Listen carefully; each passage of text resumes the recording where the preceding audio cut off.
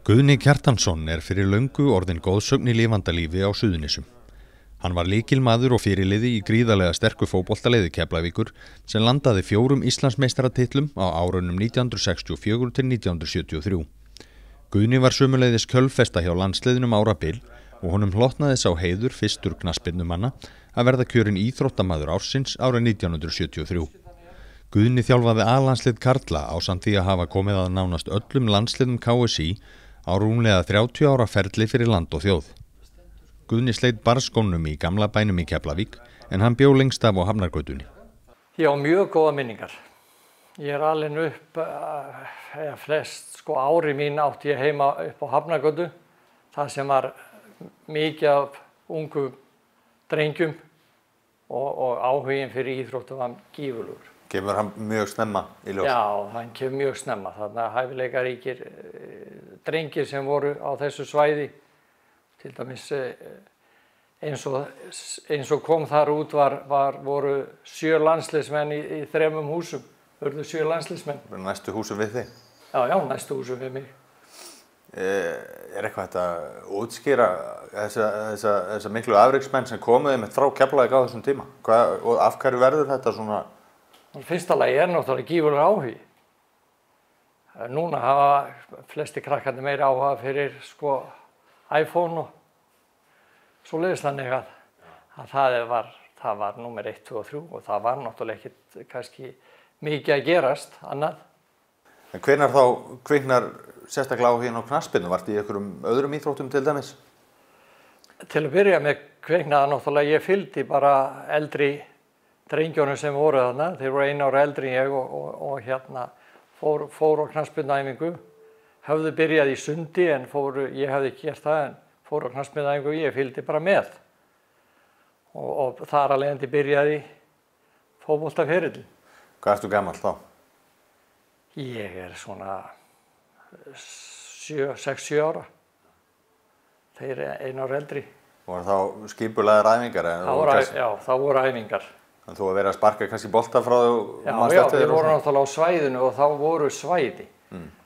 Það sem að bíkóið núna var stórt tún, sko.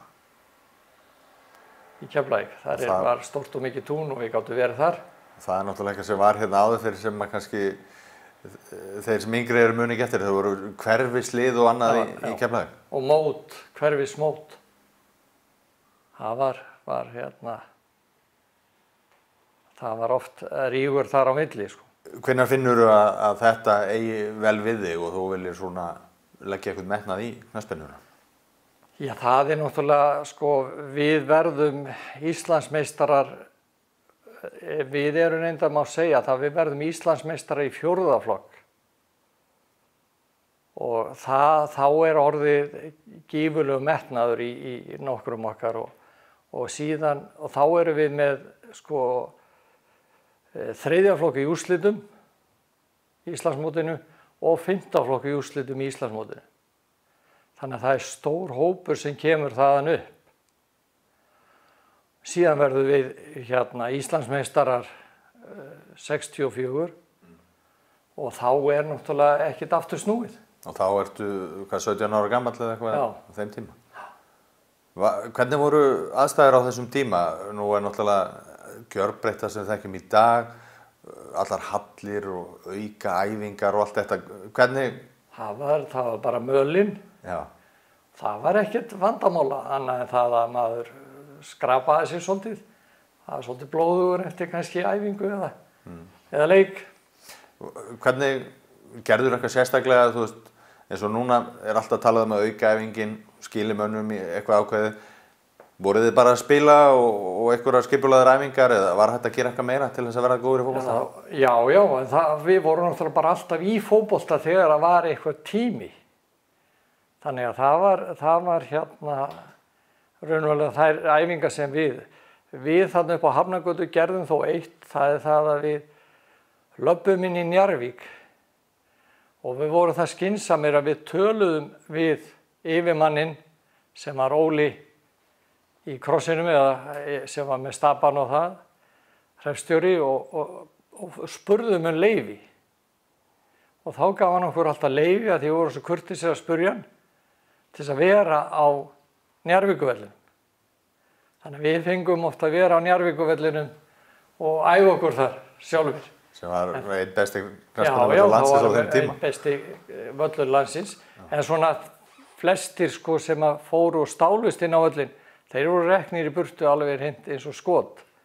En að því að við báðum um leifi, þá var þetta alveg sjálfsagt. En það var það nákvæmlega sama þegar hljómanni byrju, þá gaf hann þeim leifi. Borgar sem verið gutti. Já. En hvernig, hvernig endaru í vörninni? Ég reyndar byrjaði ekkert í vörninni, ég byrjaði á miðjunni og, og hérna spilaði það fyrst neikjafleik á miðjunni og, og síðan spilaði ég fyrsta landsleiki minn á miðjunni. Þannig að, að hérna síðan spilaði ég 23 ára landsleik og þar spilaði ég í vörn. Og eftir það var ég færður í bakvörð, spilaði í frægasta leik Íslands sem bakvörður, endaði 14-2 en, en hérna og eftir það var ég, en síðan færði Holbert bjóð til svolítið sko, svolítið hérna að ég fór í hafsendstöðu og, og Einar Gunnars kom með mér. Eitthvað staðar hef ég heyrt það því fleikt fram að þú hefði átt að spila framar á vellinum. Og þú byrjar á miðunni og ég hef, hef lesið það. Er, þú þóttir teknískur og annað og hefur þú viljað pröfa það jafnvel, að vera eitthvað framar en miðunni Ég veit ekki, vill ekki, vill ekki flesti vera sendir og skora mörg en það þarf vist að vera það þarf vist að vera á fleiri stöðum þannig að ég bara hlutverk var þetta og ég mitt hlutverk var að, að, að koma í veg fyrir að anstæðingarnir skoruðu og mér líka það bara ágætti það. Hvernig, hvernig leikmaður varstu? Ég var eh, að mínum að þið svona samvösku samur leikmaður og, og, og hérna svona sérstaklega setna ári maður ég fann að spila svona eins og mér finnst vant að spila með höfðinu svolítið mikið. Verði ekki að hlaupa út um allt heldur gera sér grein fyrir hvar mörgur skoruð og hvað þar, hvar þarf að verjast og hvernig. Ja, það er, er ótt talað um það að staða miðvarðarinn sé, sé ansi flókin og, og, og þar þurfa að vera klókir leikmenn. Já, það er náttúrulega eins og sagt er þú sparka með fótunum en spila með hausnum. Og kannski var það orðið, orðið svona í setni árin að maður farin að aðeins að hugsa meira heldur en bara djöblast. Hvernig tilfinning er það að vera fyrirliði besta knaspunnuliðs landsins í hérna dágóðan tíma? Það er bara mjög ánægilegt og, og það sem ég er kannski ánægstu með er það hvað þetta var gífulega sterkur hópur. Er mannskap sem að ætlaði sér hérna árangri. Það, það eh, láfið að þeir hefðu hent, ekkert ég heldur þeir, leikmenninni sem voru með mér hefðu hendt út manni sem var eitthvað við sín á. Vorum þar að menna ná árangri Já. og það var markmiðið. Ef eitthvað skemmti fyrir liðseildinni, hún... Já, þá var ekkit, þá höfðu við ekkit að gera við þann mann. Já, eins og kannski eins og komum síðar inn á þegar þú fær velunni 73, þá er talað um það og þú er talað um það sjálfur að það sé fyrir hönd heildarinnar svolítið. Já en það er erfitt að taka einn útur og, og afhenda honum velun en það því miður þá var ekki hægt að veluna all liðið en allavega mínum að þið hefði átt, all liðið átt að fá það.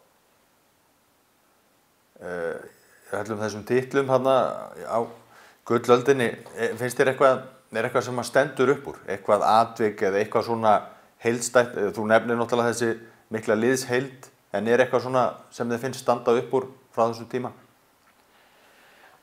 Mér finnst nummer 1, 2 og 3 standa upp úr þessi liðseild sko að, að, að hérna og það voru menn eh, hérna sem voru tilbúinir í að leggja allt í það að, að vinna sko og ná árangri.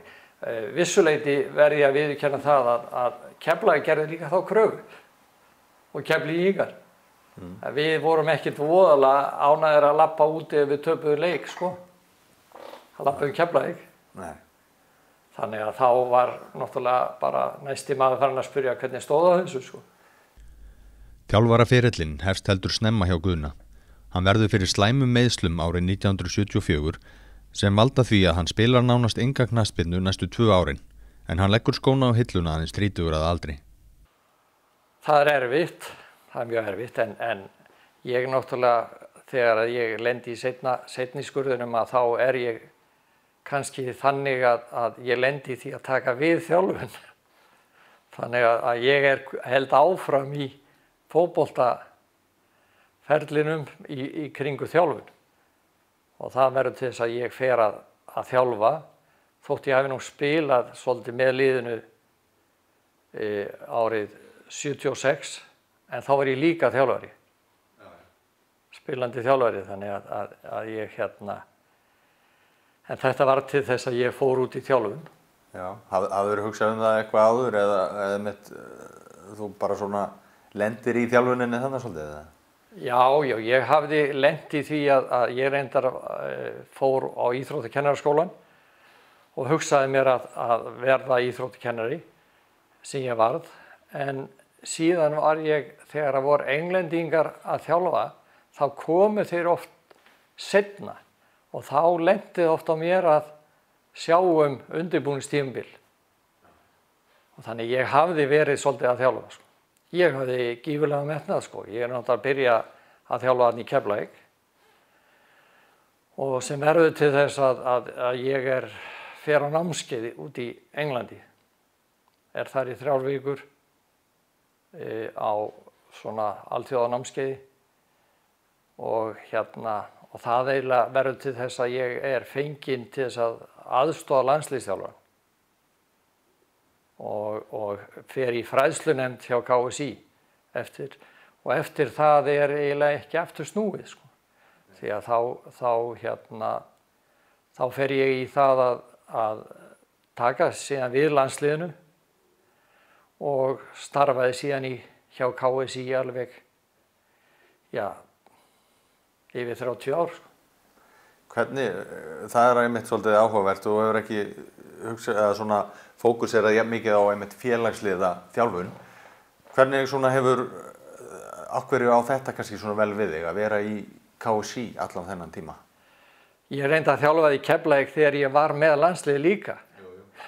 En, en e, það sem var aðalega, mér fannst ef ég væri í þjálfum hjá félagi, þá þyrtti ég að vinna þetta vel og þá erði ég að vera starfa sko helst allan daginn, vera með þetta sem starf nummer eitt. Ég var alltaf kennari og ég vildi ekki sleppa því starfi.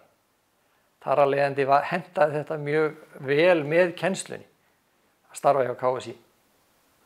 Það þurfa vantilega líka vel að vera þarna öll þessi, þessi ár hjá KSI og, og komið nálat nánast held ég öllum stígum landsliða, bæði kalla og kanna.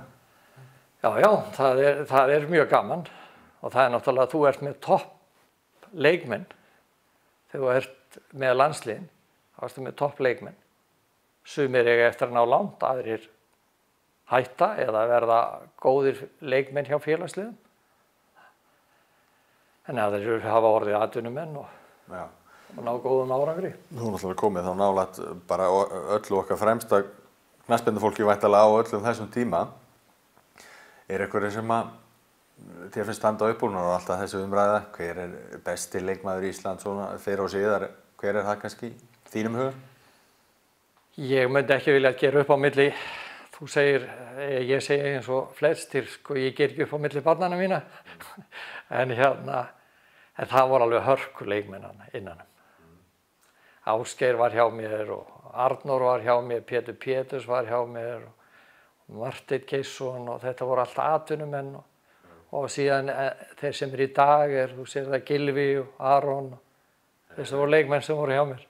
En þegar þú lítir um auksl, finnst þér ekki þokkalega lökulegur bara með ferilinn í, í bæði þjálfun og, og sem leikmaður? Jú, jú, ég reyndar hefði viljað sko vinna með káar. Já. Það, því að þeir voru búin að býða svolítið tíma en það gekk ekki upp og, og, og hérna, en það gerði síðan, síðan. Það, og nú er ég fluttur í Vesturbæin en, en ég hef búin að segja káringum að það sé ekki leið félagskipti. Nei. Þannig að ég sé ennþá í keflæg. Íþróttinu snúast rosalega mikið um að vinna eða tapa og, og þú var sigursæl og allt það. Varstu mikill keppnismæður? Er, er þeir hjartans mála sigra? Já, já, það, eh, maður vildi vinna. En, en ég var ekki þannig að ég var í fílu í marga daga, sko. Ég jafnaði mig eh, eftir það og ég eiginlega mann eitt atvik einhvern tíman sem að, sem að gerðist að ég fekk áminningu í einhverju leik á melavellinum. Ég man alltaf eftir því að ég gekk til dómarans og ég sá á svipnum á dómaranum hann held ég ætlaði nú eitthvað að tuða. Og ég sagði við hann, ég ætla nú bara að fá að þakka þið fyrir leikin. Þá leita hann á mig og sagði, ég varða að gefa þér áminningu. Og ég sagði, ég held að það er alveg rétt hjá þér. Þannig að ég held ég að við grætt stundum á því að vera kurtis við, við dómara og aðra hérna í kringum íþróttunar. Já. Ég átti að skili, sagði ég. Þannig að það er og, og eins finnst mér stundum að, að, að fólk verði að, að eða geta sagt þetta var mér að kenna. Það er allt í lagi að gera mistök. Þegar velgengni keflinginga var sem mest mætti liðið ýmsum rísum úr Evrópufóboltanum. Meðal þeirra voru Everton, Tottenham og Real Madrid. Guðni létt stórstjörnur liðana finna til tefasis. Hjá mér er það að, að ég byrja, keflaði ekki að spila annan Evrópuleik á Íslandi. Fyrsti leikurinn er K.R. Liverpool. Árið síðar, eða 64, árið síðast eru við að keppa, keflaði, við lið frá Ungverjalandi sem fyrir Marós. Og þá er ég komin í, í liðið og spilaði við það lið, sko, bæði heima og, og, og síðan á laugandarsvellunum og síðan úti í Budapest. Og það var náttúrulega, þessi leiki voru oft erfið því að við vorum bara, liðin vorum mjög sterkar en við. En uh, til dæmis á fyrsta leiknum þá spiluðum við á mótu ungverjum og það gekk illa úti, það gekk allt að ég er heima. Og það er eh, fyrsta reynsla mín að spila á mótu stjörnu leikmanni sem er Flóriðin Albert sem að sem að hérna var síðan knastbjörnumæður Evrópu 67 og hann, hann lendi því að, að ég hafði vist eitthvað sparkaða niður og, og hann stóð upp þegar ég ætlaði að byggja stafsökunar og skyrti bara á mig. Og það var mín fyrsta reynsla af topp leikmanni sem, sem við spiluðum við. Þannig að það er síðan lendu við í að spila við, við Everton sem var náttúrulega sögulegu leikur að því leiti að við, við skorum tvö mörg, byrjuðum að fyr, skorum fyrra markið. Og, og þar voru náttúrulega stjörnur því að við, við náttúrulega þekktum meira til Englands og þar voru stór stjörnur sem við spiluðum á, móti og síðan spilaði ég við Tottenham sem voru nú ennþá meira meiri stjörnur því að það voru þarna þó Eila flestir þeirra landslýsmenn í Breitlandi, það er í Skótlandi, Vils, Írlandi og, og Englandi. Þannig að það var hörku, hörkuleikur. Stemmingi var gífulega góð í keflæk. Plús það að þegar við fórum Erlendis eins og England, þegar við fórum til Englands, hérna, þá er ég að tala um Everton, Tottenham og síðan Real Madrid, þá fóru áhangandu með okkur til England sko. Já. Það voru ekki bara í Keflæk, það var fullt af áhangandum frá Keflæk sem fóru til Englands og með flugi með okkur sko. Það stæðist í þessu, er einmitt Real Madrid eins og, eins og nefnir, hvernig var það nú allt saman?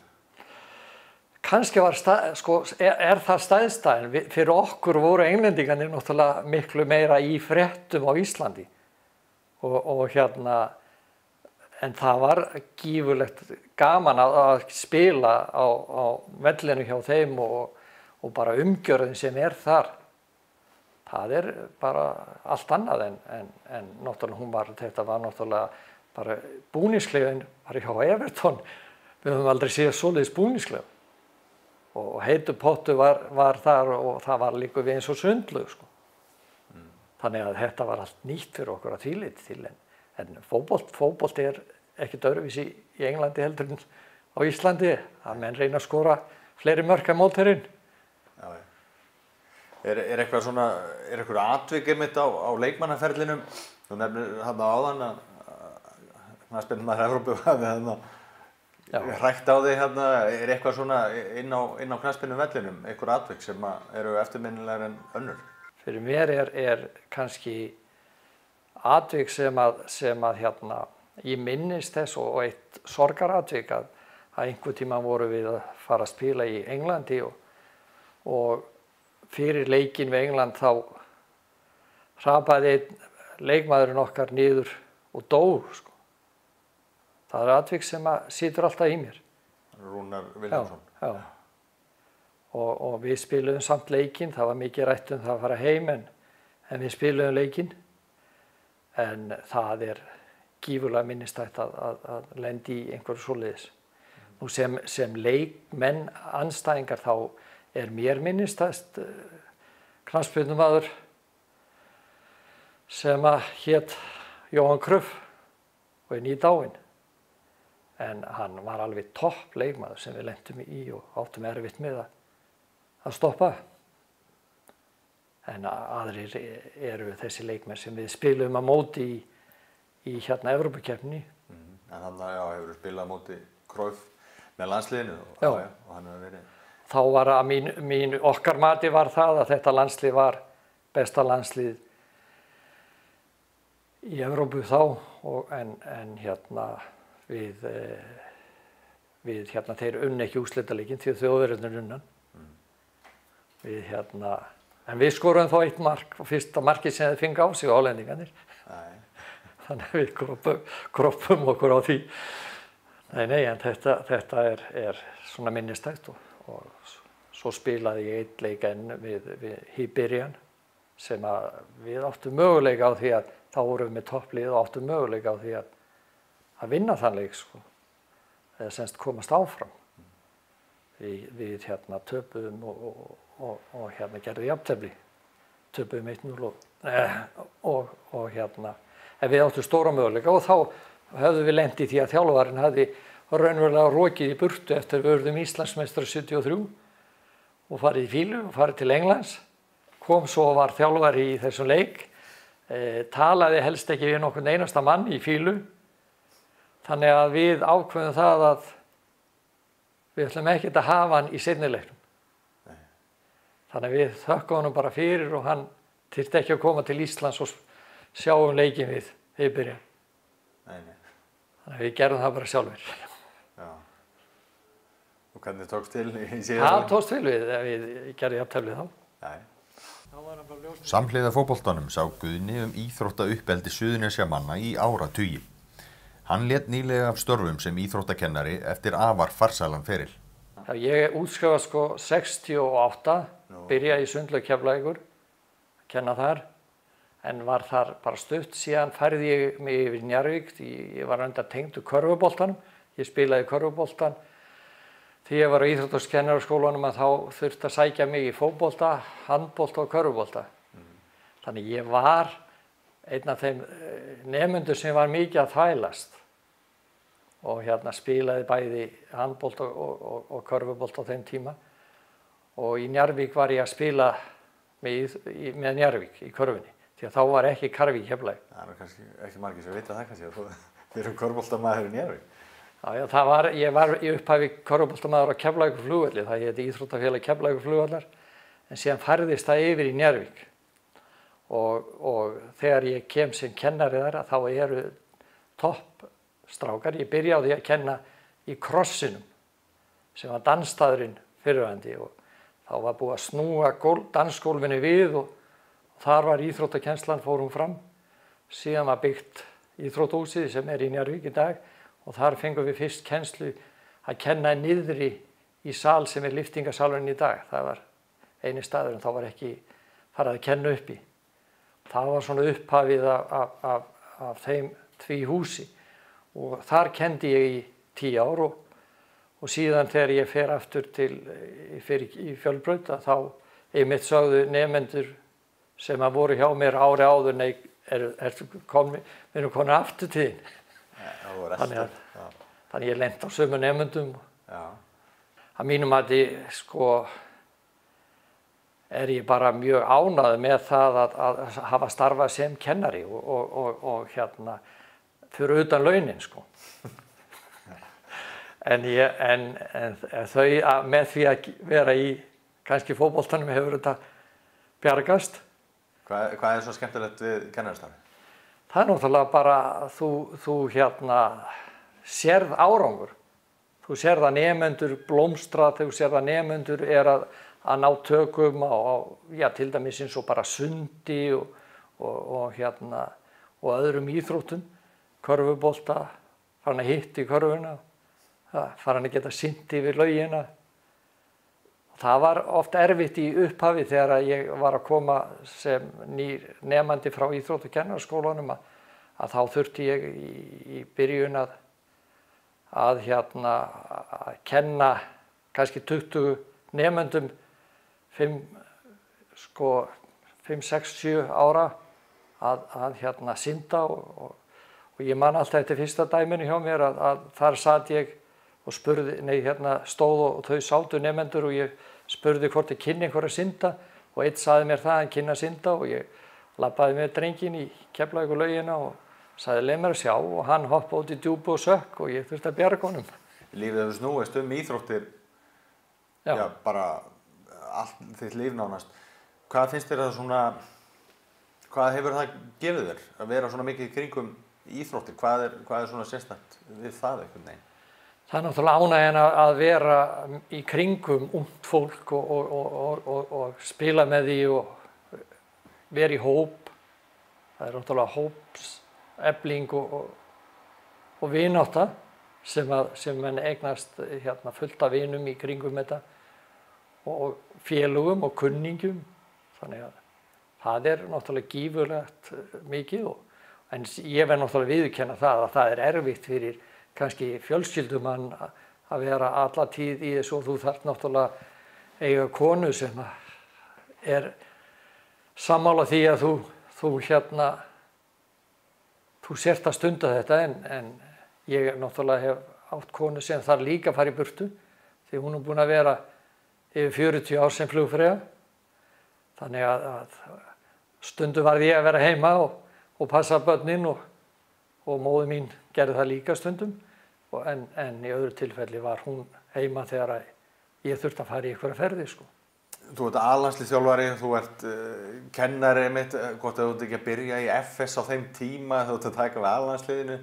Jú, jú, það passar. Er það ekki svolítið, svolítið skrítið svona, ef maður myndi hugsaði í dag að Lars Lagerbakk veri hérna íþróttakennari í Jú, jú, reyndar er Lars Lagerbäck kennari sko, en, en hann hætti alveg að kenna sko. Ha, það gerði ég ekki. Hvernig var þetta fyrir þig einmitt? Þú verið ungum maður hérna bara með fjölskyldu og vinna sem íþróttakennari í FS og alhanslið þjálfari.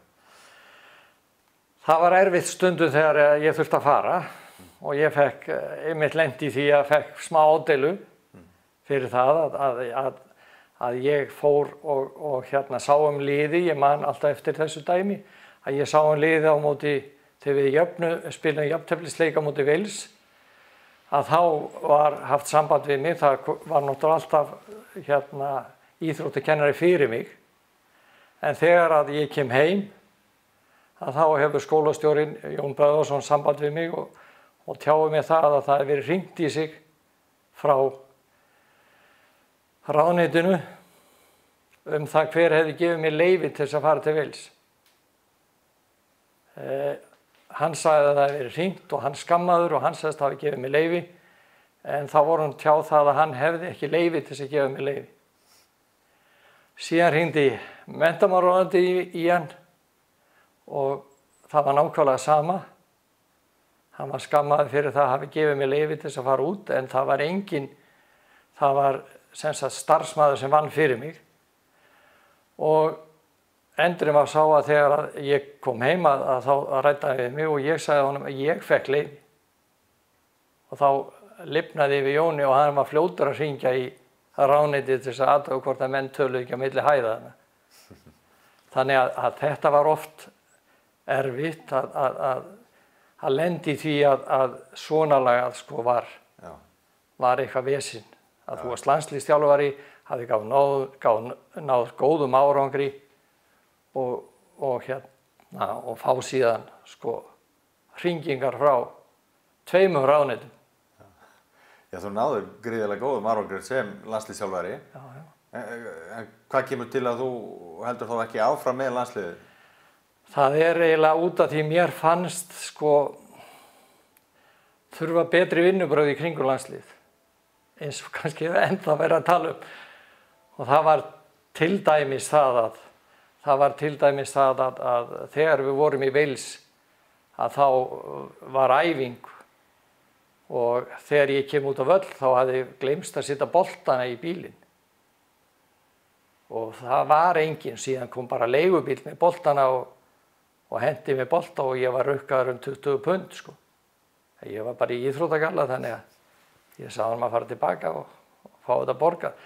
Þannig ég var óanað með starfsemana í kringum með vantaði vissa menn og þeir voru ekki til staðar og þar að leiðandi hafði ég bara ekki áhuga fyrir að standa í svona málum.